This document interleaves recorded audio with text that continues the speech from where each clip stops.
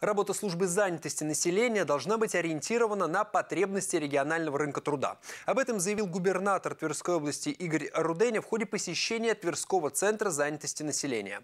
В этом году государственной структуре исполняется 30 лет. Глава региона поздравил специалистов Верхневолжья с профессиональным праздником. 30 лет назад, 19 апреля 1991 года, в России был принят закон о занятости населения в Российской Федерации. Именно с этой даты берет свое начало история Государственной службы занятости. С праздником специалистов Верхневолжья поздравил губернатор Игорь Руденя. Глава региона напомнил, президент Владимир Путин на совместном заседании Президиума Госсовета и Агентства стратегических инициатив 15 апреля поставил задачу улучшить работу социальной сферы, включая службу занятости, выстроить все процессы, исходя из запросов и потребностей граждан. Люди – это самый главный ресурс, это самое главное богатство любой страны, любого региона.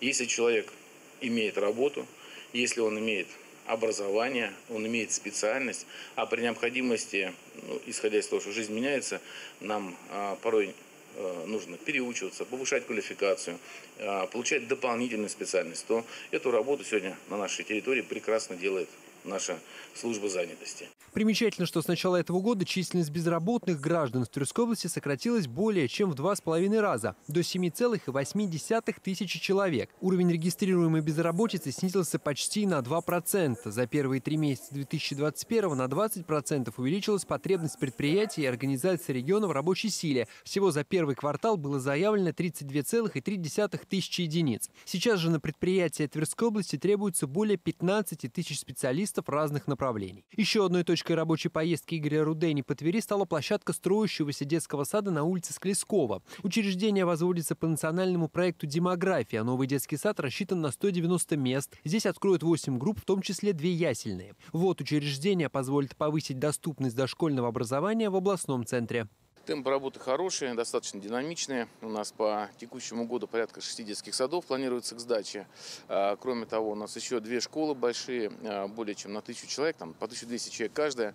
И строительство объектов в городе Твери для нас является особым проектом, потому что город Тверь это у нас единственный муниципалитет, где есть высокая потребность в местах по дошкольному образованию, по школьному образованию. Поэтому надеемся, что в течение текущего года полностью выполним поручение президента Российской Федерации о доступности мест по школьному и дошкольному образованию в рамках города Твери.